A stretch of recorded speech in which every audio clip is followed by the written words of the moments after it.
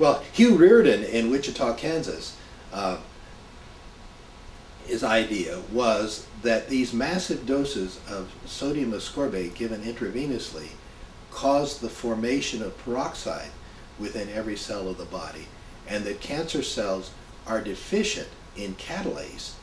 And so that's why that massive doses of ascorbate forming peroxide would selectively kill the cancer cell and not normal cells.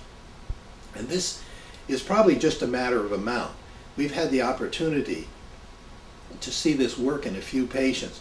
Some cancers seem to be exquisitely sensitive to moderately high doses of vitamin C, but for legal reasons and uh, worry about malpractice and insurance won't pay for it, we've not been able to give as large of doses that uh, we knew would be possible.